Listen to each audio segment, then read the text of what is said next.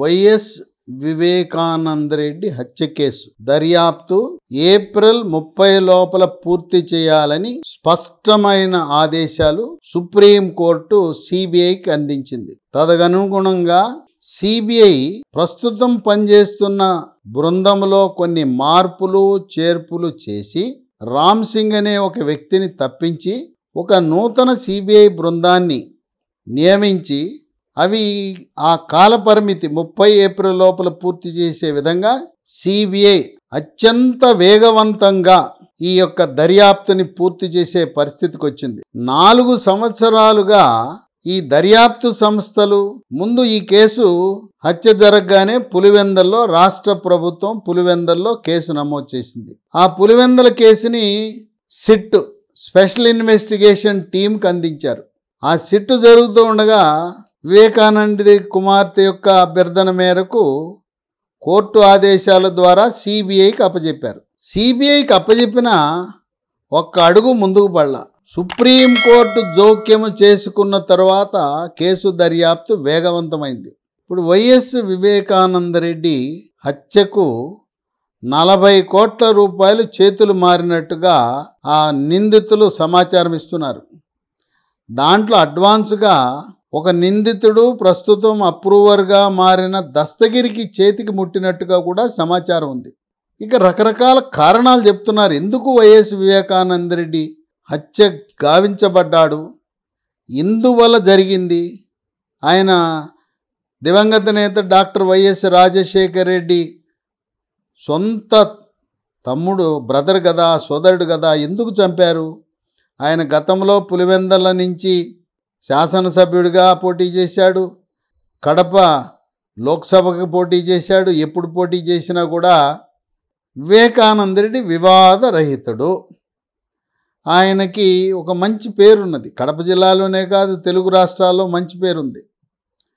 అటువంటి వ్యక్తి ఎవరికి ఎవరి జోలికి వెళ్ళని వ్యక్తి ఎందుకు హత్య గావించబడ్డాడంటే ప్రజల్లో ప్రచారంలో ఉన్న రకరకాల అంశాలు రోజు మీడియాలో చర్చలు జరుగుతున్న అంశాలు ఏంటంటే ఒకటి వైఎస్ రా జగన్మోహన్ రెడ్డి భార్య భారతి.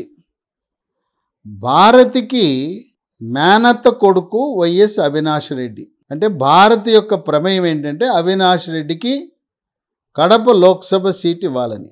వివేకానంద రెడ్డి ఏం చెప్పాడంటే వివేకానంద రెడ్డి కాంగ్రెస్ పార్టీ నుంచి మారి వైఎస్ఆర్సిపిలోకి వచ్చినప్పుడు ఆయన కోరిక ఏంటంటే జగన్కి చెప్పాడు ముక్కుసూటిగా చెప్పాడు జగన్ కడప లోక్సభ సీటు నాకన్నా ఇవ్వు. లేదు నాకు కాకపోతే విజయమ్మకి ఇవ్వు నీ తల్లికి ఇవ్వు. లేదు నీ చెల్లెలకి ఇవ్వు. మా ముగ్గురులో ఎవరో ఒకరికి ఇవ్వు. మన ముగ్గురు మా ముగ్గురిని దాటి వేరే వాళ్ళకి ఇవ్వటం మాకు ఇష్టం లేదు. నాకు విజయముకి శర్మలకు కూడా మాకు ఇష్టం లేదని ముక్కుసూటిగా చెప్పాడు. ఇది రుచించక రాజకీయంగా వైఎస్ వివేకానందరెడ్డి అడ్డం పడుతున్నాడు అడ్డం తొలగించుకోవాలని ఆయన లేపేశారనేది ఒక వాదన.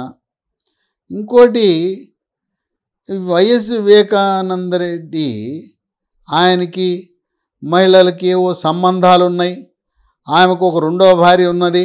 అలాగే ఈ నిందితుల్లో ఒక వ్యక్తి సునీల్ యాదవ్ తల్లిని ఏదో బలాత్కారం చేశాడని ఇవన్నీ కేవలం ఆరోపణల కొరికే ఆరోపణలు. ఆ రెండవ భార్య అనధికారిక భార్య వివాహం చేసుకున్నట్టు ఆధారాలు ఏమి లేవు. సునీత కుమార్తెకు రెండవ భార్యకు ఏవో ఆర్థిక లావాదేవీల విషయాల్లో అభిప్రాయ భేదాలు ఉన్నాయి కనుక ఈ మహిళా సంబంధాల వల్ల అక్రమ సంబంధాల విషయంలో ఆ వైఎస్ వివేకానంద రెడ్డి హత్య గావించబడ్డాడని ఇంకొక స్టోరీ. ఇంకోటి ఏంటంటే ఈయనకున్న ఆస్తి ఈయన వివేకానంద రెడ్డి రాజశేఖర్ రెడ్డిలో ఆయన ఆస్తిలో భాగం రావాలి. మరి ఆయనకి భాగం లేకుండా అసలు మనిషే లేకపోతే లెక్కలు చెప్పవలసిన అవసరం ఉండదని చెప్పి మరి ఆయన ఆస్తినంతా కబళించడానికి ఆయన లేపేశారని మరికొన్ని ప్రచారాలు జరుగుతూ ఉన్నాయి. ఏదేమైనా వైఎస్ వివేకానంద రెడ్డి యొక్క హత్య అనేది చాలా దురదృష్టకరం. ఇప్పుడు హై సుప్రీంకోర్టు ఏం చెప్పింది? ముప్పయో తారీఖు పూర్తి చేయమంది. రాష్ట్ర హైకోర్టు వైఎస్ అవినాష్ రెడ్డి యొక్క ముందస్తు బెయిల్ విషయంలో ఇరవై ఐదు ఏప్రిల్కి వాయిదా వేసింది. అటు చెప్పలేదు ఇటు చెప్పలేదు.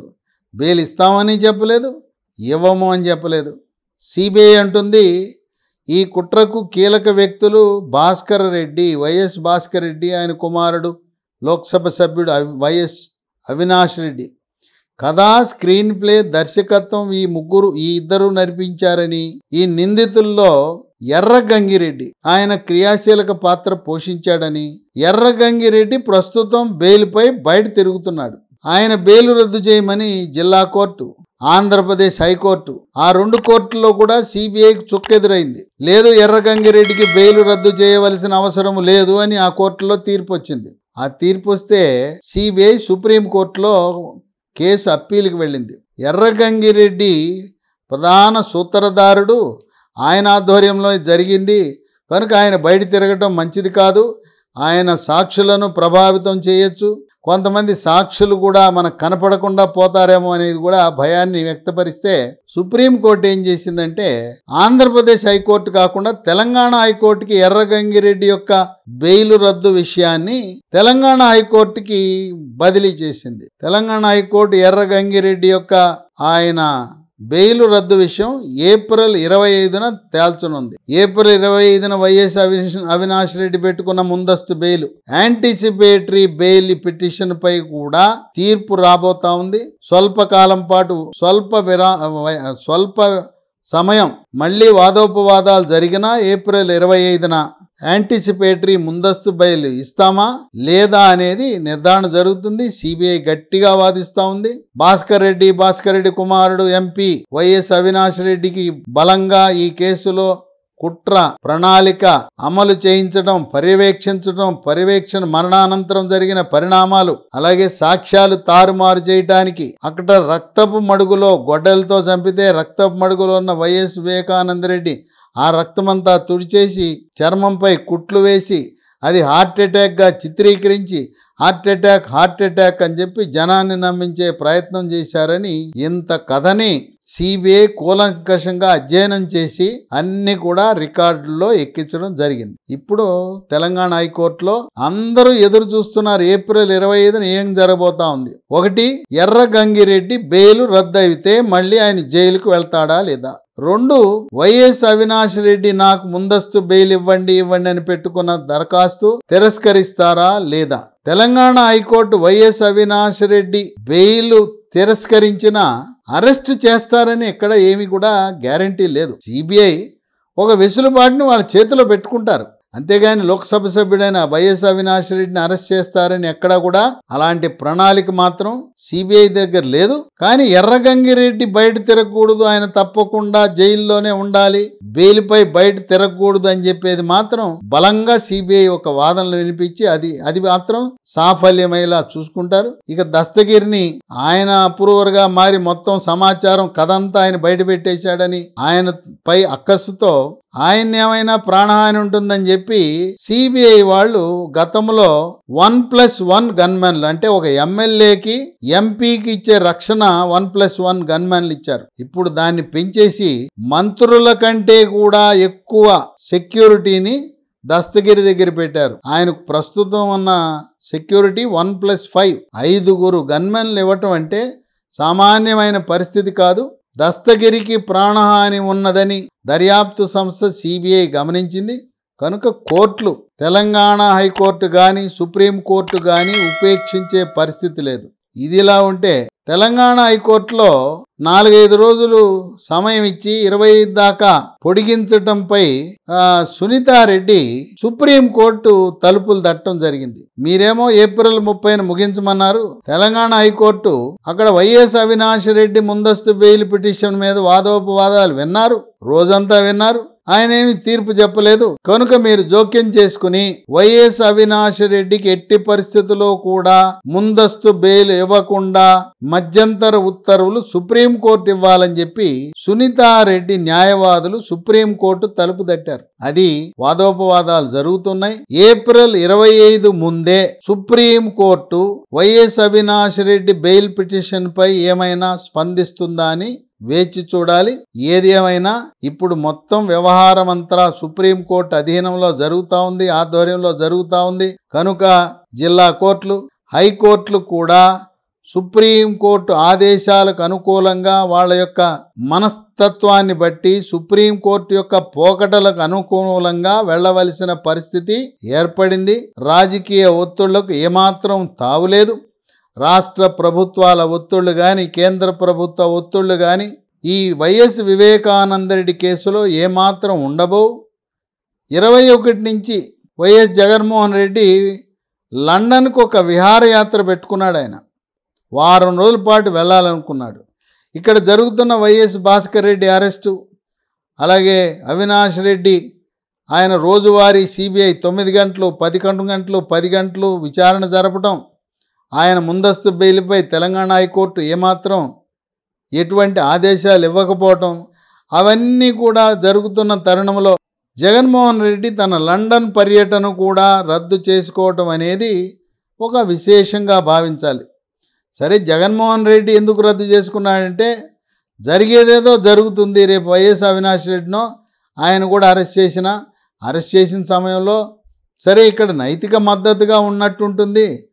మరి ఆయనపై ఆ రోమ నగరం తగలబడుతుంటే నీరో చక్రవర్తి ఫిడేలు వాయించుకున్న విధంగా మరి సొంత కుటుంబ సభ్యులు భారతి యొక్క మేనత్త కొడుకు అవినాష్ రెడ్డి భారతి యొక్క మేనత్త భర్త భాస్కర్ రెడ్డి జైళ్ళలో వాళ్ళ జైల్లో ఉన్నప్పుడు మనం విహారయాత్రకి లండన్కి వెళ్ళటం ఎంతవరకు సమంజసమని ఆ దంపతులు ఇద్దరు నిర్ణయం చేసుకుని ఆ లండన్ యాత్రని పూర్తిగా వాయిదా వేసుకోవటం జరిగింది. ఏదేమైనా తెలుగు రాష్ట్రాల్లో ప్రజలు రాజకీయ పార్టీలు న్యాయవాదులందరూ కూడా తెలంగాణ హైకోర్టులో ఏం జరగబోతా ఉంది? సుప్రీంకోర్టులో ఏం జరగబోతా ఉన్నదని ఎప్పటికప్పుడు నిశితముగా గమనిస్తున్నారు. మరి సోషల్ మీడియాలో ఎలక్ట్రానిక్ మీడియాలో రోజు అలాగే పత్రికల్లో కూడా ప్రతిరోజు పుంకాను పుంకాలుగా ఏ విధంగా ఒక మంచి మనిషి వైఎస్ వివేకానందరెడ్డి కుట్ర కోణంలో హత్య గావించబడ్డాడు. అర్ధరాత్రి సమయంలో ఆయన చంపారు. మరి తెల్లవారుజామున ఐ- ఐదు ఆరు గంటల సమయంలో ఆయన యొక్క మరణాన్ని ప్రకటించడం ఇవన్నీ కూడా మరి సభ్య సమాజం ఎవరు కూడా ఇది హర్షించే విషయం కాదు. వైఎస్ వివేకానందరెడ్డిని చంపిన నిందితులకు కఠినముగా ఎంతటి వారైనా రాజకీయంగా పలుకుబడి ఉన్న వారైనా వాళ్ళకి శిక్ష పడాలి అని తెలుగు రాష్ట్ర ప్రజలు మనస్ఫూర్తిగా కోరుకుంటున్నారు.